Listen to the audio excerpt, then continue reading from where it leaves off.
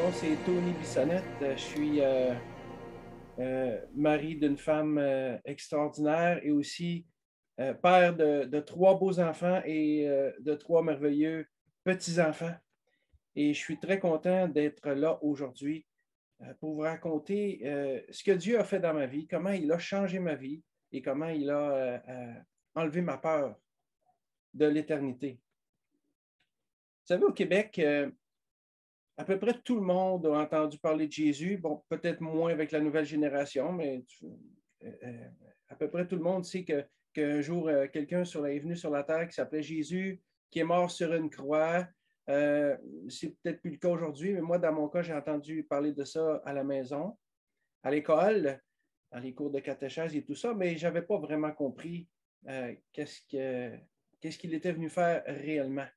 Mon épouse dit parfois que Chacun de nous, nous avons notre propre histoire et que Dieu a son histoire et que Dieu fait quelque chose d'extraordinaire, c'est qu'il aime mêler son histoire à la nôtre. Et c'est ce qui m'est arrivé. En ce qui me concerne, je connaissais Jésus un peu comme ça, n'importe comment, mais vous savez, il y a souvent des gens qu'on côtoie dans nos vies ou qu'on côtoie de loin, de près, de loin. Euh, on ne sait pas vraiment qui ils sont, on en entend parler et on peut se faire une image fausse de qui ils sont à cause de ça. Et c'était mon cas avec euh, cette personne appelée Jésus.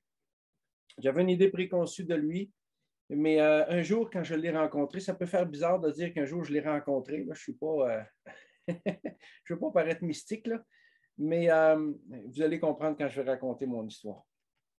Je suis né à Shawinigan, en Mauricie, en 1969, donc pas besoin de compter, j'ai 51 ans. Euh, je suis né dans une famille euh, catholique non pratiquante, comme la plupart des familles au Québec. Donc, euh, on allait à l'église à Noël, à Pâques, dans de rares occasions. Cependant, dès mon jeune âge, ma mère m'avait m'a quand même enseigné de bonnes valeurs. Elle me parlait de Jésus, elle me disait qu'il était là pour moi, que je pouvais lui parler, lui raconter ma journée, etc. Et c'est ce que j'ai fait durant toute mon enfance. Je peux dire que j'ai toujours été attiré par Dieu et par les choses de Dieu dans mon enfance. Euh, cependant, quand, j'ai commencé à grandir et puis que l'adolescence euh, s'est pointée, eh euh, disons que Dieu a commencé à, devenir un peu moins important dans ma vie. vers l'âge de 15-16 ans, j'ai commencé à découvrir ce que j'appelle aujourd'hui les paradis artificiels. Donc, euh, sans donner trop de détails, euh, disons que j'étais beaucoup attiré par les plaisirs du monde et parce que le, monde a, à offrir et qui parfois peut même détruire des vies. Alors, euh, j'arrive à l'adolescence et ces choses-là, mes paradis artificiels prenaient de plus en plus de place et je vivais ma vie comme, comme tout le monde jusqu'à ce que j'arrive à l'âge de 18 ans. On est en 1988 et comme Louise l'a mentionné tout à l'heure, euh, quelqu'un qui m'était proche est décédé à ce moment-là. Et là, je me suis mis à me poser de sérieuses questions. Je me demandais où il était allé. Où est-ce qu'il est maintenant qu'il est mort? Et où est-ce que moi je vais aller après la mort? Est-ce qu'il est, est, est, au ciel? Est-ce qu'il est en enfer, ailleurs? et moi, qu'est-ce qui en arrive de moi? ayant été confronté comme ça de près à la mort par quelqu'un d'autre, euh, cette interrogation sur l'éternité, de qu'est-ce qui arrive après, y a-t-il une vie après la mort? Je croyais que oui, mais disons que c'était surtout euh, superficiel parce que je n'avais pas de réponse. Et là, j'ai commencé à fouiller à gauche et à droite, à poser des questions à des gens religieux, et personne ne semblait avoir de réponse pour moi. Euh, on me disait, ben, écoute, quand tu vas arriver au, bout, ben, euh, il va y avoir comme une espèce de grosse balance. Hein. Je pense qu'on a tous déjà entendu ça. Euh, si tu fais une bonne vie, tu vas pencher d'un côté. Si tu ne fais pas une bonne vie, ben. Disons que je n'étais pas certain, moi, que la balance, je pencherais du bon bord en, ce qui me concerne. Pas que j'étais une mauvaise personne, je n'étais pas quelqu'un de mauvais, mais disons que j'avais, j'avais besoin de réponses. Et plus le temps passait, plus ça me tracassait. Cette euh, pensée de l'éternité euh, me hantait d'une certaine façon. Euh, Louise a mentionné tout à l'heure un verset euh, dans l'Ecclésiaste 3.11 où elle a dit que euh, Dieu a mis dans le cœur de l'homme la pensée d'éternité. Et c'est exactement euh, ce qui m'arrivait. La pensée d'éternité m'obsédait carrément. Les années ont passé et deux ou trois ans plus tard, en 1991, je me suis trouvé un, emploi dans, une usine à Shawinigan. Je travaillais pour Alcan. Et là, j'ai rencontré quelqu'un, un compagnon de travail, qui lui parlait de Dieu il parlait de Dieu, mais il était un peu bizarre dans sa façon d'en de, parler. Il disait que Jésus était mort pour moi personnellement. oh, OK, d'accord, c'est parce que ça fait 2000 ans que c'est arrivé là. Bon, je ne comprenais pas trop. Euh, il parlait aussi de la justice de Dieu. Il parlait de trucs comme la nouvelle naissance. Bon, c'était un langage un peu bizarre pour moi. je ne comprenais pas trop ce qu'il disait, mais ça m'attirait quand même parce que je me suis dit à quelque part, peut-être que lui a des réponses pour moi et je voulais savoir qu'est-ce qu'il y avait de l'autre côté. Je ne comprenais pas tout, mais euh, j'avais entamé une certaine démarche. Et ça allait bien jusqu'à ce qu'il me parle du péché. À un moment donné, il m'a dit Tes péchés te séparent de Dieu. Mais là, j'ai dit Écoute, là, tu, pousses peut-être ta loque un peu trop loin. Là. Je veux dire, je ne suis, pas un tueur en série quand même. Je ne suis pas une si mauvaise personne que ça. Mais là, il m'a dit Oui, mais ce n'est pas la question. C'est que euh, tous nos péchés nous séparent de Dieu. Alors là, je me suis mis à réfléchir. Est-ce que j'ai déjà péché? Peut-être que j'ai fait de la peine à quelqu'un une fois, ma mère, mais je veux dire, euh, je ne suis, pas vraiment un pécheur, moi, là, tu sais, bon. Et là, il m'a fait réaliser que même, si on compte une, petite menterie, c'est un péché. Alors, on, est tous des pécheurs. Et, j'ai vu plus tard dans la Bible, dans la parole de Dieu, que euh, tous les hommes sont des pécheurs, sans exception, qu'on le veuille ou non. Et cet état de fait, ben, ça nous sépare de Dieu parce que Dieu, il m'expliquait que Dieu, qui est parfaitement saint, ne peut pas cohabiter avec le péché. Je dis, OK, euh, bon, je ne comprenais pas tout, mais je commençais à avoir certaines réponses. Et là, j'ai dit, bon, c'est bon, je vais aller m'acheter une Bible. Alors, je vais m'acheter une Bible et je commence à la lire. Puis là, je me suis dit en même temps, ben, je vais changer des choses dans ma vie. Je vais arrêter de boire, je vais arrêter de sacrer, je vais, bon. Euh, ça n'a pas duré longtemps. Ça n'a pas marché bien, longtemps, malheureusement. D'aussi loin que je me souvienne, j'ai toujours su en, dedans de moi-même, je ne sais pas exactement pourquoi, mais je crois que c'est Dieu qui avait mis ça là, mais d'aussi loin que je me souvienne, j'ai toujours su, cru que la Bible, c'était la parole de Dieu. Et que ce qui était écrit dans la Bible, ben, c'était vrai. Alors, euh, je contestais au niveau du péché quand il m'en parlait, mais quand il m'a montré, Bible ouverte, que j'étais un pécheur et que mes péchés me séparaient de Dieu, là, je ne l'ai pas trouvé drôle. Je ne l'ai vraiment pas trouvé drôle. Je ne sais pas si euh, c'est comme ça dans vos familles. Moi, quand j'étais plus jeune, c'est encore comme ça aujourd'hui, mais euh, quand j'étais plus jeune, chez mes grands-parents, euh, il y avait une grosse famille, tout le monde se réunissait. Puis là, c'était les parties dans le temps des fêtes. Et puis, principalement, le, 31 décembre au soir, hein, la veille du jour de l'an.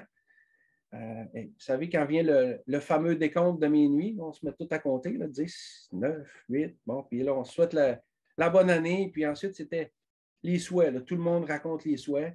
Euh, je te souhaite euh, de l'argent, je te souhaite une petite blonde, je te souhaite du succès dans tes études. Bon, c'est toujours les mêmes souhaits qui revenaient, année après année, mais c'était la tradition. Cependant, il y a un des souhaits qui, était, qui m'était souhaité, qui, moi, m'interpellait. Je ne le montrais pas nécessairement, mais on avait l'habitude de me dire Je te souhaite le paradis à la fin de tes jours. Je ne sais pas si vous avez déjà connu ça dans vos familles, mais moi, c'était le cas. Puis euh, quand on me disait ça, ça résonnait dans le fond de mon âme, dans le fond de mon cœur. Le paradis à la fin de tes jours. Moi, le paradis, je voulais y aller. Mais je savais, je n'étais pas sûr que je pouvais y aller.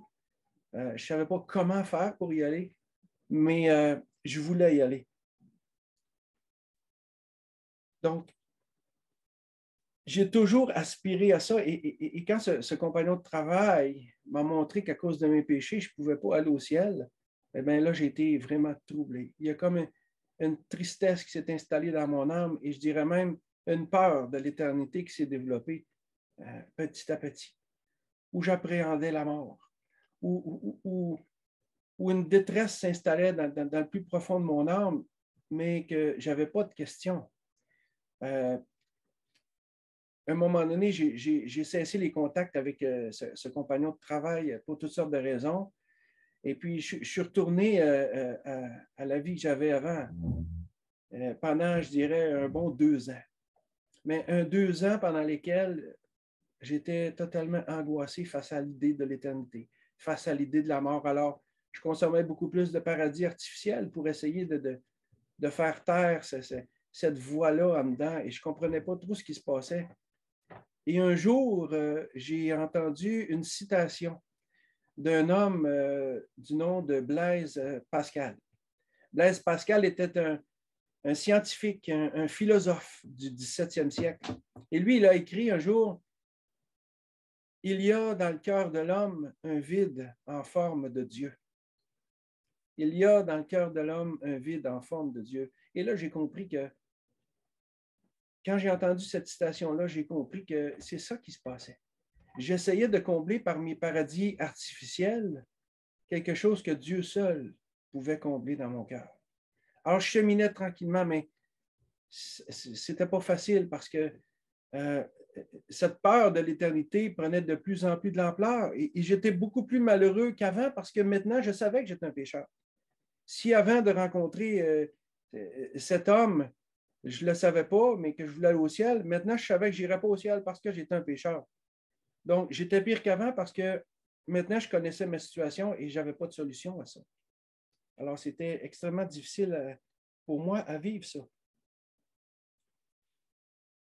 Le temps passe et puis environ peut-être deux ans plus tard encore, mais j'avais, comme, je vous ai dit, j'avais coupé contact avec cet homme. Et, deux ans plus tard, je rencontre euh, quelqu'un d'autre à l'usine. Entre-temps, j'avais été échangé de, département. Et là, euh, un autre compagnon de travail parlait de Dieu avec un autre gars, puis ça a attiré mon attention. Mais comme on dit des fois, on, a été chaudé par certaines choses, alors j'étais un peu euh, réticent, craintif. Donc j'écoutais d'une oreille sans trop faire voir que, que j'écoutais, mais, mais ça m'attirait. Et il parlait de Dieu, et là, je suis allé le voir, puis j'ai commencé à parler avec lui. Et là, il m'a dit, ben, Tony, si tu veux aller au ciel, il faut que tu acceptes la grâce de Dieu. Je dis, OK. Euh, mais la grâce de Dieu, qu'est-ce que c'est? Et là, il s'est mis à me parler que je lui ai demandé premièrement à quelle religion il appartenait. Et là, il me dit, j'appartiens pas à une religion, j'ai une relation avec Dieu. Je dis, ah, OK, d'accord. Là, il dit, non, non, non, attends, attends, je ne veux pas avoir l'air mystique parce que c'est sûr que dit froidement comme ça, ça peut avoir l'air bizarre. Mais il dit, écoute, laisse-moi t'expliquer quelque chose. Il dit, un jour, je ne savais pas où j'irais quand j'étais pour mourir, puis il dit, je voulais des réponses. Alors ça, ça me rejoignait. Il dit, Jésus-Christ est venu sur la croix pour, euh, ben, sur la terre pour euh, euh, régler ça, te donner la, la, solution à ça. Alors là, il m'a expliqué que Jésus était venu non pour fonder une grande religion comme je le croyais jusque-là, mais pour régler la dette de mes péchés. Alors, moi, je savais à ce moment-là que mes péchés me séparaient de Dieu. Et là, lui me dit que Jésus est venu euh, euh, donner la solution à ça. Il était venu euh, me racheter de mes péchés. Donc, je dis, OK, mais comment il a fait ça? Et là, il m'explique que sur la croix, Jésus avait pris ma place, qu'il avait pris ma condamnation, celle que mes péchés méritaient, et qu'il les avait tournés sur lui. Alors là, là, je grandissais dans ma connaissance, dans ma compréhension de la chose, mais mon problème n'était pas réglé pour autant parce que euh, euh, je n'avais pas encore euh, saisi ça pour moi-même, si je peux dire. Et là, il me cite un, passage de la Bible dans Éphésiens 2, 8 et 9 qui dit Car c'est par la grâce que vous êtes sauvés, par le moyen de la foi. Et cela ne vient pas de vous, c'est le don de Dieu. Ce n'est point par les œuvres, alors là, il m'a expliqué, même si tu t'es acheté une Bible, que tu as arrêté de sacrer, tu as arrêté de boire, tu as arrêté tous tes paradis artificiels, hein, il dit, c'est pas suffisant, ça. Parce que ce n'est pas par tes œuvres, ce n'est pas par ce que tu fais, ni même parce que tu fais une bonne vie que tu vas pouvoir entrer au ciel. Mais si tu crois que Jésus a fait à ta place ce que tu étais incapable de faire, ça s'éclaircissait, mais en même temps, ça, ça devenait plus sombre aussi parce que euh, il y avait beaucoup de notions nouvelles là-dedans qui venaient comme brouiller les cartes, si on peut dire. Là. Bref, Dieu avait commencé un travail dans ma vie euh, qui allait euh, rendre terme plus tard. Mais en attendant, tout ça me paraissait invraisemblable et surtout trop simple. Donc, j'accepte que Jésus est mort à ma place. Ça règle le problème de mes péchés. Euh, c'est bien beau, mais il me semble que c'est simple. Ça va un peu à l'encontre de tout ce que j'avais pensé, j'avais appris jusque-là. Et là, il me dit, il s'appelait Arthur. Il dit, euh, où est-ce que tu demeures? Juste deux rues derrière chez vous, il y a, une église euh, où la parole de Dieu est enseignée, où, où on parle de Jésus. vas-y, lui, il n'allait pas à cette église-là parce qu'il habitait dans une autre ville, mais il dit, vas-y, puis tu vas voir, tu vas avoir des réponses à tes questions. Alors, je réfléchis à ça pendant un bout de temps. Et puis, euh, à un moment donné, je prends mon courage à deux mains. Et là, euh, j'y vais à pied, c'était vraiment pas loin. Et j'ignorais même que cette église était là. Puis ça faisait quand même euh, deux ans que j'habitais là. Je n'avais jamais remarqué. Bref, là, là je, me souviendrai toujours, il y avait des grandes marches avec un perron. Et puis là, je monte là-dessus, puis je prends la poignée de porte dans mes mains. Et puis là, ça frappe. Mais en fait, c'est mes genoux qui cognaient ensemble. Ce n'était pas moi qui frappais, ni mais tellement là, j'étais stressé, j'étais angoissé. Là. Et j'ai failli revirer de bord, mais je me suis dit, OK, autant ouvrir la porte puis savoir qu'est-ce qui se passe. Peut-être que je vais avoir des réponses ou peut-être que non, mais j'ai rien à faire. Mais j'étais vraiment nerveux. Euh, j'avais peur. Bref, j'ouvre la porte et là, quelqu'un vient m'accueillir il m'invite à aller m'asseoir. Et je m'assois et évidemment, je n'écoutais pas trop qu'est-ce que la personne, le pasteur en avant qui, qui parlait, je n'écoutais pas trop qu'est-ce qu'il disait parce que j'étais curieux, je venais d'arriver, puis là, je regardais tout le monde, je voulais voir si tout le monde avait des grands chapeaux pointus avec des, bon, toutes sortes de trucs. Hein. Euh, mais non, ça avait l'air tout du monde bien normal. Et puis là, le pasteur a dit quelque chose qui a attiré mon attention. Il dit, le Seigneur Jésus est le seul homme de toute l'histoire qui est passé six fois en procès pour la même chose. Les six fois, il a été jugé innocent et il a quand même été condamné. Je dis, wow, c'est quand même impressionnant. Et là, il a parlé de Jésus et il a commencé à, expliquer pourquoi Jésus avait passé au travers de ça. Et dans mon esprit, je commençais à comprendre certaines choses. J'étais loin d'avoir tout compris. Ça a pris encore des mois, mais euh, j'avançais tranquillement. Et là, à la fin de cette réunion, euh, quelqu'un vient me voir et là, me demande euh, Hey, salut, je m'appelle Pierrot. Euh, sais-tu si tu vas aller, mais que tu meurs? J'ai Oh boy, il est donc bien bête, lui. je me disais ça. J'avais peur de mourir, puis il vient me dire Hey, salut, c'est que tu vas aller, mais que tu meurs. C'était comme pas ça que j'avais le goût d'entendre, mais c'était ce que j'avais besoin d'entendre. sans le savoir lui-même, ben, je sais que c'est ce qu'il espérait, mais euh, sans savoir pour autant, euh, il avait ébranlé quelque chose dans le fond de mon âme, dans le fond de ma conscience, dans le fond de mon cœur. Parce que je n'étais pas capable de répondre à cette question-là. Si tu où est-ce que tu vas aller, mais que tu meurs? Et là, il m'a donné un traité, je l'ai oublié, mais euh, un grand traité sur lequel il était écrit Pensez à ces choses. Si vous mouriez maintenant, iriez-vous au ciel ou en enfer? Alors moi, je, regarde ça rapidement et euh, je le mets dans mes poches, on jase un petit peu, puis là, je retourne chez moi. Puis là, en m'en allant, je me suis dit, waouh, il faut, que je parle de ça à Nathalie. Nathalie, c'était ma conjointe, qui est devenue mon épouse plus tard.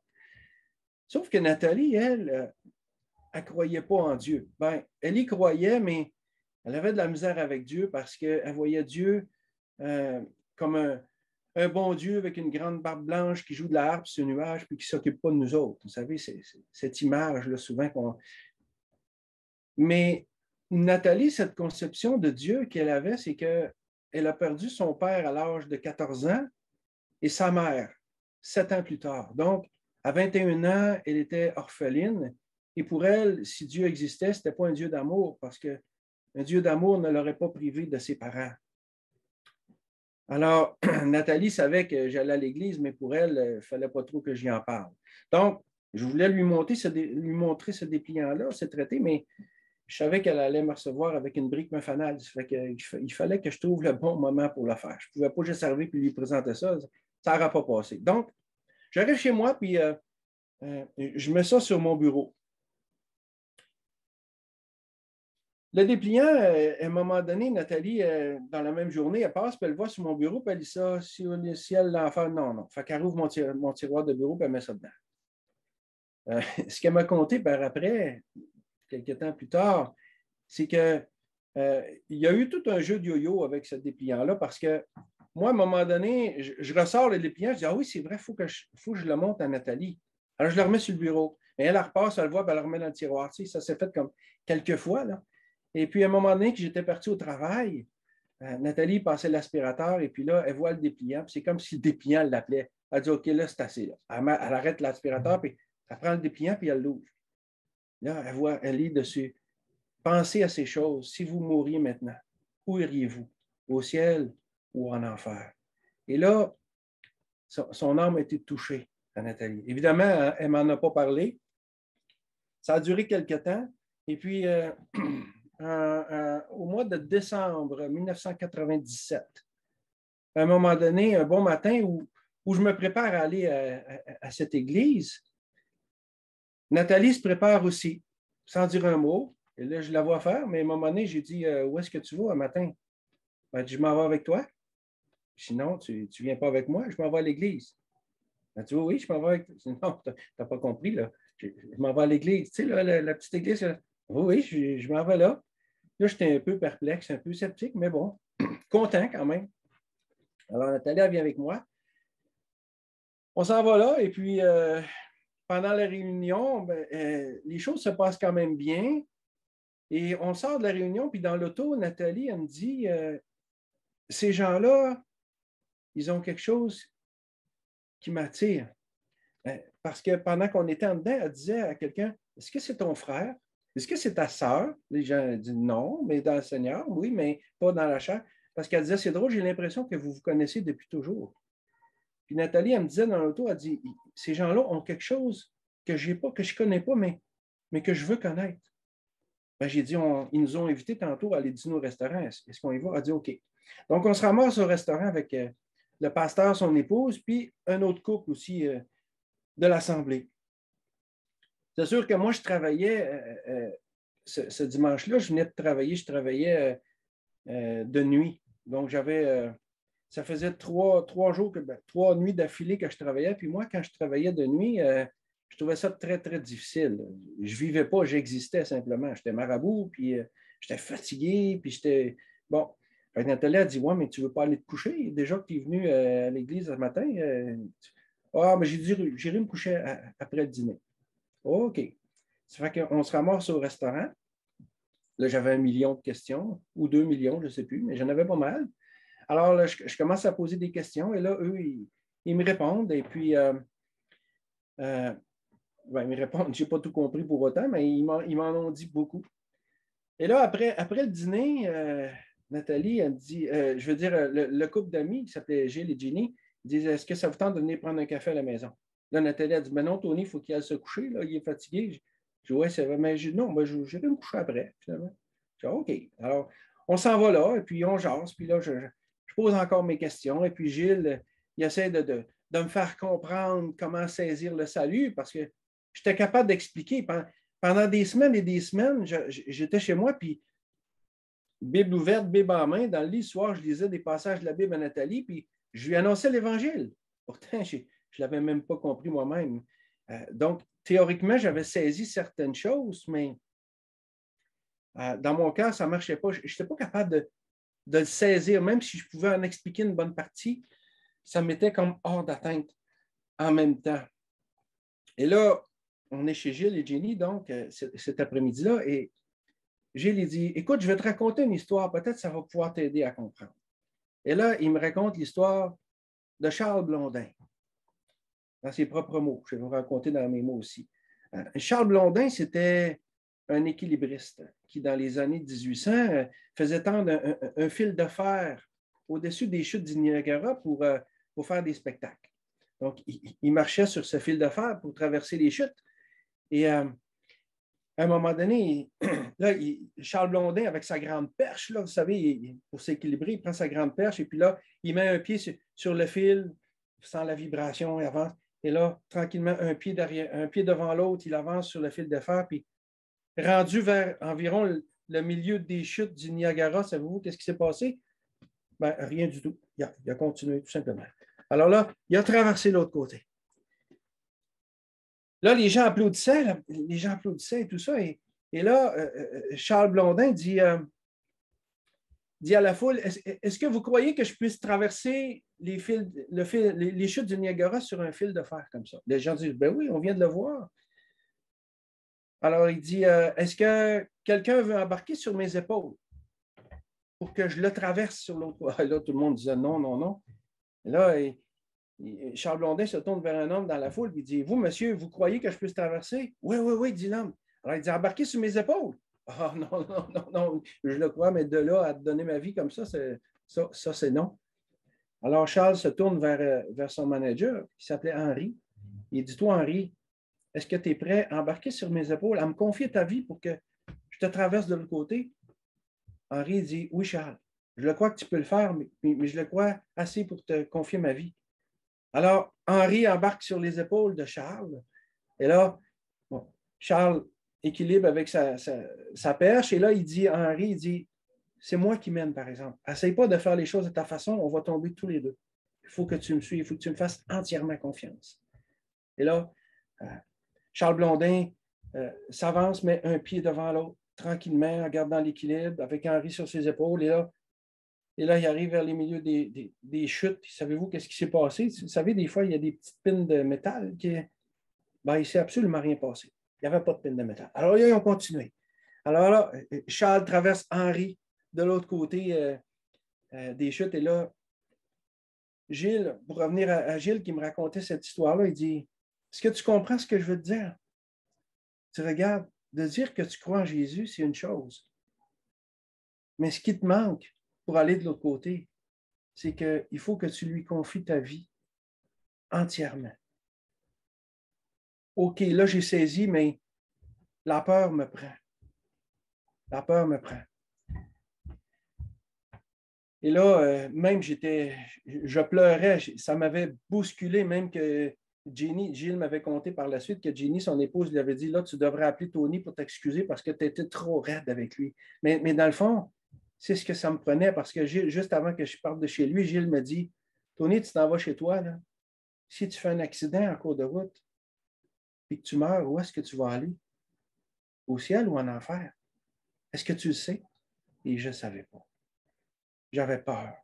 Et là, on s'en retourne chez nous, Nathalie et moi, et puis là, ça a été atroce. C'était réellement atroce. Euh, cette journée-là, puis les, deux jours qui ont suivi, euh, je continuais à travailler parce qu'à l'usine, c'était des, semaines de six jours de travail d'affilée. Euh, donc, quand j'étais allé au dimanche, je finissais mon troisième. Donc, il m'en restait trois à faire. Et, pendant ces trois jours-là, où je travaillais de nuit, je n'ai pas dormi, je n'ai pas mangé. Euh, je travaillais comme un zombie un peu parce qu'il fallait que je le fasse, mais j'étais angoissé à la mort. J'étais angoissé euh, j'avais peur de mourir et j'ai pleuré ma vie. Pendant ces trois jours et ces trois nuits-là, -là, je n'ai pas mangé, je n'ai fait que pleurer, je n'ai pas dormi. Donc, j'étais à bout, j'étais épuisé physiquement, moralement, euh, euh, spirituellement. J'étais plus capable.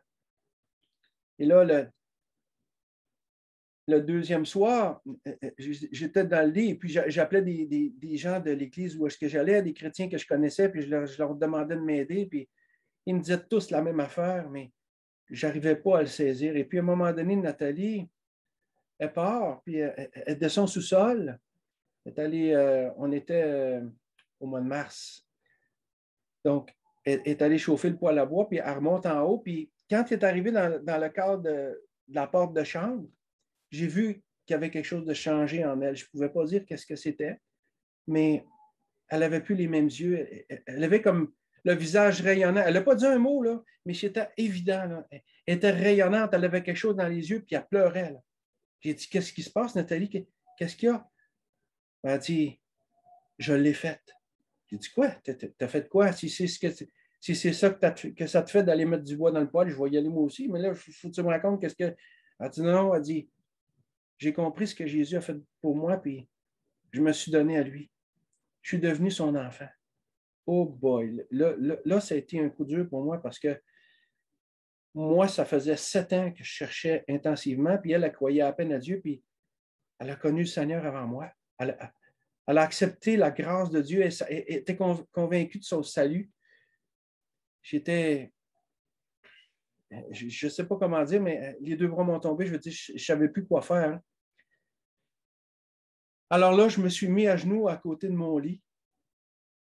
Et puis, euh, je me suis mis à prier.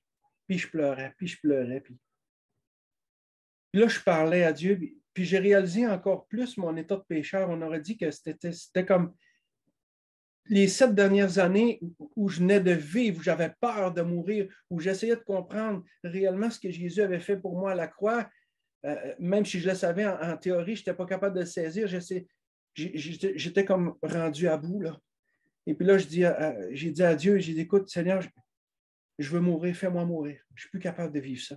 Si je pourrais aller en enfer de toute façon, euh, que ce soit maintenant ou dans 20 ans, ça ne changera rien dans l'éternité. Alors, Seigneur, on va régler ça maintenant. Enlève-moi la vie. Viens me chercher.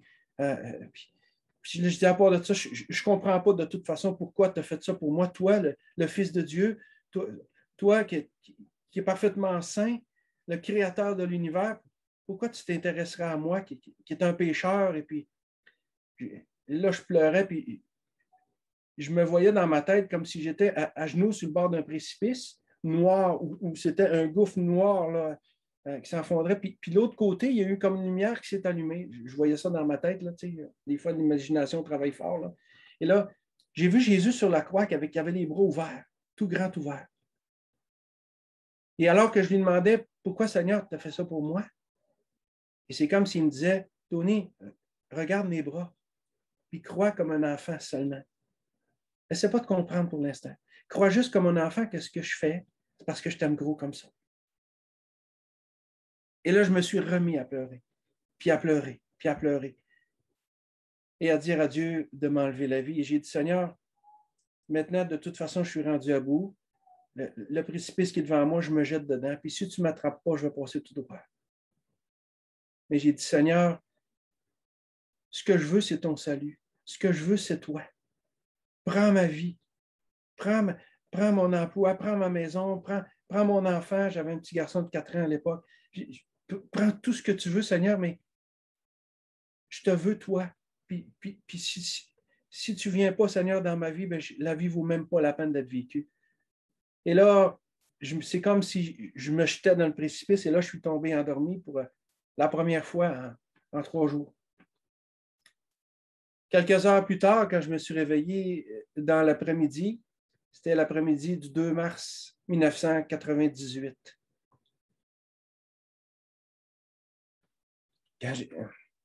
Quand j'ai mis les, pieds à côté de mon lit, et là, j'ai tassé les rideaux de, ma fenêtre et j'ai regardé dehors. C'était comme si c'était la première fois de ma vie que je voyais la lumière du soleil. Le chant des oiseaux n'était plus pareil. Je ne comprenais pas ce qui se passait, mais tout était différent. J'avais 28 ans à l'époque. Et ce qui était encore plus extraordinaire, même si je n'avais aucune idée de ce qui se passait, c'est que le fardeau qui, qui, quelques heures auparavant, pesait sur mes épaules, qui m'avait amené à, demander à Dieu de m'enlever la vie, ce fardeau-là avait disparu. Et là, j'ai réalisé que en appelant, en appelant quelqu'un, en appelant Gilles, entre autres, et, puis d'autres chrétiens, j'ai réalisé que j'avais demandé à Dieu de m'enlever la vie, mais ce que Dieu a fait, c'est qu'il ne m'a pas enlevé la vie. Il m'en avait donné une nouvelle. Et là, j'ai compris qu'est-ce que ça voulait dire quand Jésus a dit euh, euh, à un personnage religieux euh, du nom de Nicodème, il dit, il faut que vous naissiez de nouveau. Là, j'ai compris que je venais de commencer une nouvelle vie, puis que ce n'était pas à cause de, ce que j'avais pu dire ou avait pu faire, ou parce que j'avais fait une bonne vie, ou parce que j'étais religieux, ou, quoi que ce soit, mais simplement à cause de ce que Jésus avait fait pour moi. Là, j'ai compris que Jésus à la croix était comme un, paratonnerre. Vous savez ce que c'est un paratonnerre sur, une maison, hein? cette tige de métal qui dévie la foudre pour pas que la maison euh, explose si, la foudre tombe dessus. Eh bien, j'ai compris que Jésus à la croix avait été comme un paratonnerre. Il avait dévié sur lui la, colère de Dieu a mérité mes péchés. Il m'avait en retour euh, euh, couvert de sa sainteté, de sa justice.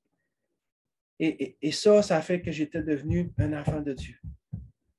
Et à partir de ce jour-là, ma vie n'a plus jamais été la même. Maintenant, je sais où est-ce que je vais aller, mais que je meurs. Je sais que, que, je vais aller dans la présence immédiate du Seigneur Jésus et que je vais y être pour l'éternité, puis que ce n'est pas à cause de moi, mais grâce à lui. Euh, j'ai plus peur de mourir maintenant. Euh, même, bon, la vie est belle, là, je ne veux pas mourir, mais, mais je me dis en quelque part, ça va, être, ça va être quelque chose de grandiose quand je vais mourir. Non seulement ça me fait plus peur, mais il y a un petit côté de moi qui, me dit Waouh, ça, ça m'attire. Alors, parce que je sais que je vais être dans la présence de mon Sauveur, de mon Seigneur. Et j'ai compris aussi de cette journée-là que j'aurais aimé pouvoir donner la chance à Jésus de se faire connaître à moi pour qui il est vraiment. Vous savez, je vous dis ça au, début que euh, des fois, on connaît une personne, on pense connaître une personne, mais tant qu'on ne lui donne pas la chance de se révéler à nous, ben, on ne la connaît pas vraiment. Et, c'est ce qui est arrivé euh, avec Jésus. Alors, la journée où, je me suis donné à lui, où il s'est fait connaître à moi, euh, ma vie en a été complètement transformée. Puis, je regrette rien. Ça fait 23 ans maintenant de ça. Et depuis ce temps-là, ben, Jésus est, important dans ma vie. Euh, dans la vie de notre famille aussi. Et peut-être que toi qui m'écoutes, peut-être que tu te poses la même question que je me suis posée, à savoir où est-ce que tu vas aller, mais que tu meurs. Peut-être que tu penses qu'on ne peut pas le savoir. Eh bien, laisse, moi te dire que oui, tu peux le savoir. Dans la parole de Dieu, euh, il est écrit, c'est l'apôtre Jean qui écrit à un moment donné, je vous écris ces choses afin que vous sachiez que vous avez la vie éternelle, vous qui croyez au nom du Fils de Dieu. Alors, il n'y a rien d'hypothétique là-dedans. Il dit, je vous écris ces choses afin que vous sachiez que vous avez. Donc, c'est maintenant. Et toi qui m'écoutes, qui cherches peut-être à, à, trouver la paix de ton âme, la certitude de la vie éternelle, eh bien, va Jésus-Christ. Comprends ce qu'il a fait pour toi. Accepte que que un pécheur. La Bible dit que tous sont péchés et sont privés de la gloire de Dieu. Alors, on n'a pas besoin d'être un tueur en série pour être un pécheur. On vient au monde avec une nature pécheresse. Et, ce péché-là euh, nous sépare de Dieu parce que Dieu, qui est saint, ne peut pas côtoyer le péché, ne peut pas vivre avec le péché. Mais par nous-mêmes, on ne peut pas changer ça. Et c'est pour ça que Jésus est venu. Jésus est venu faire ce qui nous était impossible. La parole de Dieu dit ce qui est impossible aux hommes est possible à Dieu. Alors, toi qui recherches le salut, crois que tu es un pécheur, que tes péchés te séparent de Dieu et que Jésus est venu mourir pour toi, pour toi personnellement. La parole de Dieu nous dit, euh, car Dieu a tant aimé le monde qu'il a donné son Fils unique afin que quiconque croit en lui ne périsse point, mais qu'il ait la vie éternelle. Et, et le quiconque, tu peux mettre ton nom là-dedans. C'est ce que j'ai fait. C'est ce d'ailleurs ce que Gilles m'avait fait faire. Car Dieu a tant aimé Tony qu'il a donné son Fils unique afin que Tony croit en lui et que Tony ne périsse point, mais que Tony ait la, vie éternelle. je t'invite à le faire aussi. Et si tu crois ça dans ton cœur, eh donne-toi sans réserve à Jésus-Christ. Reconnais devant lui que tu es un pécheur et regrette tes péchés parce que ça prend une repentance. Ce ne sont pas que des paroles, mais ça prend une réelle repentance de cœur. Alors, va Jésus dans ton intimité et puis dis-lui ces choses. Laisse monter tout simplement ce qu'il y a sur ton cœur. Dis-lui que tu regrettes tes péchés et que tu le veux lui plus que tout et donne-lui ta vie. Fais-lui confiance pour qu'il t'emmène de l'autre côté. Donne-lui ta vie sans réserve. Et Jésus va faire de toi un enfant de Dieu. C'est ce qu'il a fait pour moi. Merci, Seigneur, de ne pas m'avoir enlevé la vie comme je te l'avais demandé. Mais merci de m'en avoir donné une nouvelle.